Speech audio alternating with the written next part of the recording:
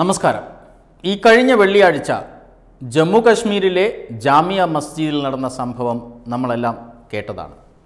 അതായത് ജാമിയ മസ്ജിദിൽ ഒരു സംഘം ചെറുപ്പക്കാർ പത്തോ പതിമൂന്നോ വരുന്ന എണ്ണം വരുന്ന ചെറുപ്പക്കാർ ആ ജാമിയ മസ്ജിദിൽ വെള്ളിയാഴ്ച പ്രാർത്ഥന നടന്നുകൊണ്ടിരിക്കുന്ന സമയത്ത് പള്ളിക്കകത്ത് കയറുകയും അവിടെ നിന്ന് പ്രകോപനപരമായ മുദ്രാവാക്യങ്ങൾ രാജ്യവിരുദ്ധ മുദ്രാവാക്യങ്ങൾ വർഗീയ മുദ്രാവാക്യങ്ങൾ ഇതെല്ലാം മുഴക്കി പ്രാർത്ഥനയിൽ മുഴുകി ഇരിക്കുകയായിരുന്ന ജനങ്ങളെ ഭയപ്പെടുത്തുകയായിരുന്നു. ആ ജനങ്ങൾ ഭയപ്പെട്ടതിന് പിന്നിലൊരു കാരണമുണ്ട്. അതായത് ഏതാനും വർഷങ്ങൾക്ക് മുമ്പ് അവിടെ ഇത്തരം സമാധാനപരമായ പ്രാർത്ഥനകൾ നടന്നി നടത്തിയിരുന്ന ഒരു ആരാധനാലയമല്ലായിരുന്നു. ഹ്യൂറിയത്തിന്റെയും മറ്റ് വിഘടനവാദി സംഘടനകളുടെ എല്ലാം നേതാക്കളും തീവ്രവാദികളും ലഷ്കർ ഇ ത്വയ്ബയുടെ കമാൻഡോകൾ വരെ ഈ പള്ളിക്കകത്ത് വന്ന് ഇന്ത്യ വിരുദ്ധ പ്രസംഗങ്ങൾ തീവ്രവാദ പ്രസംഗങ്ങൾ വർഗീയ പ്രസംഗങ്ങൾ കശ്മീരിൽ നിന്നും ശേഷിക്കുന്ന ഹിന്ദുക്കളെ കൂടെ എങ്ങനെ ഉന്മൂലനം ചെയ്യാം ശേഷിക്കുന്ന കശ്മീർ കൂടി എങ്ങനെ ഇന്ത്യയിൽ നിന്ന് വേർപെടുത്തി സ്വാതന്ത്ര്യം നേടാം എന്നിങ്ങനെയുള്ള വിവിധ വിഷയങ്ങളിൽ വലിയ പ്രകോപനപരമായ പ്രസംഗങ്ങൾ നടത്തിയിരുന്ന വേദിയായിരുന്നു ഈ കശ്മീരിലെ ജാമിയ മസ്ജിദ്.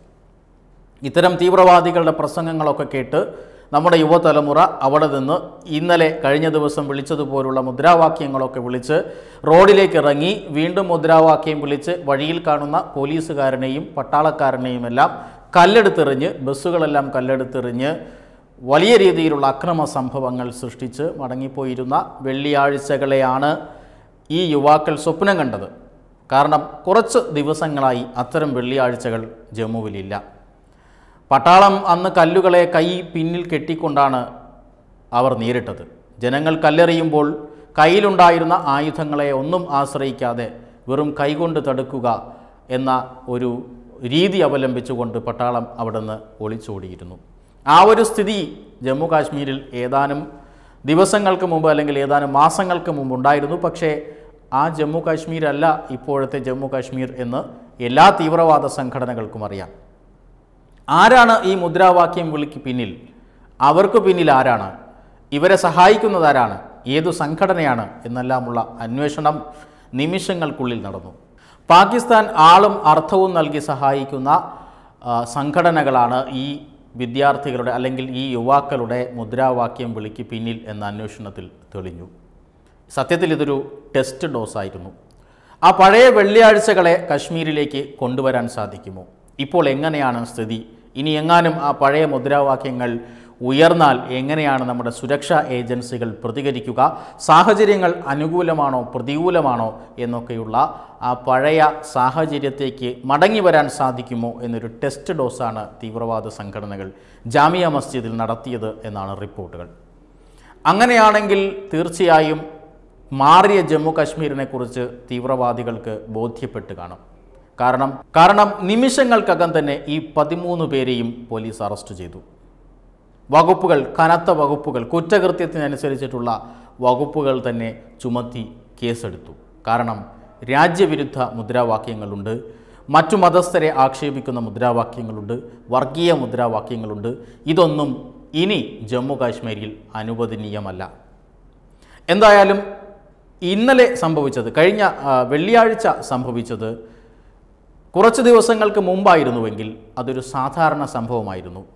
എല്ലാ വെള്ളിയാഴ്ചകളിലും ജാമിയ മസ്ജിദ് എന്ന് മാത്രമല്ല മറ്റു പല പള്ളികളിലും ഇതൊക്കെ തന്നെയാണ് സംഭവിക്കാറുള്ളത്. ഒരു നേരിയ സംഘർഷത്തിൽ അതൊക്കെ അവസാനിക്കുമായിരുന്നു. പക്ഷേ ഇപ്പോൾ അത് അത്ര സാധാരണമായ കാര്യമല്ല. ജമ്മു കാശ്മീർ ഇന്ന് കേന്ദ്രത്തിന്റെ കയ്യിലാണ് കേന്ദ്രഭരണ പ്രദേശമാണ്. അന്നുണ്ടായിരുന്ന പ്രത്യേക അധികാരങ്ങളൊന്നും ഇന്ന് ജമ്മു കാശ്മീരിനില്ല. ഭരണകൂടം വിഘടനവാദികൾക്കൊപ്പമില്ല. അതുകൊണ്ട് ജനങ്ങൾ കുറച്ച് ദിവസങ്ങളായി ശാന്തമായി പ്രാർത്ഥന നടത്തി വരികയായിരുന്നു ജാമിയ മസ്ജിദിൽ.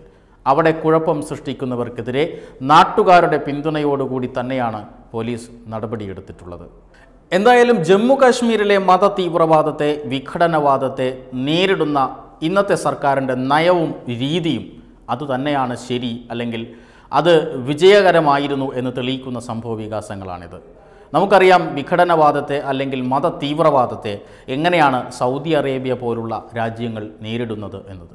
രാജ്യത്തിന്റെ മുന്നോട്ടുള്ള പോക്കിന് രാജ്യത്തിന്റെ അന്താരാഷ്ട്ര തലത്തിലുള്ള ഒരു സൽപ്പേരിന് ഇതിനെല്ലാം കളങ്കം വരുത്തുന്ന എല്ലാത്തരം തീവ്രവാദ പ്രവർത്തനങ്ങളെയും ഏത് മതത്തിൽ നിന്നായി ആയാൽ പോലും അതിനെ മുളയിലേ നുള്ളുന്ന ഒരു നയമാണ് സൗദി അറേബ്യയ്ക്കുള്ളത്.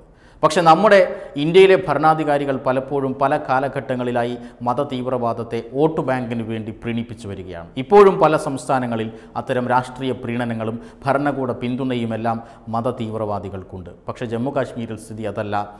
തീവ്രവാദത്തെ അതിശക്തമായി നേരിടുന്ന ഒരു നയം. ആ നയമാണ് കശ്മീരിലെ രക്തച്ചൊലിച്ചിൽ അവസാനിപ്പിച്ചത് കശ്മീരിൽ സമാധാനം കൊണ്ടുവന്നത്. ഇതിനെ തകർക്കാനുള്ള ഏതൊരു ശക്തിയുടെയും ശ്രമം ഇനി വിജയിക്കില്ല എന്ന ഒരു സൂചന കൂടിയാണ് എന്നതിന്റെ ഒരു തെളിവ് കൂടിയാണ് കഴിഞ്ഞ വെള്ളിയാഴ്ച ജാമിയ മസ്ജിദിൽ നടന്ന സംഭവം.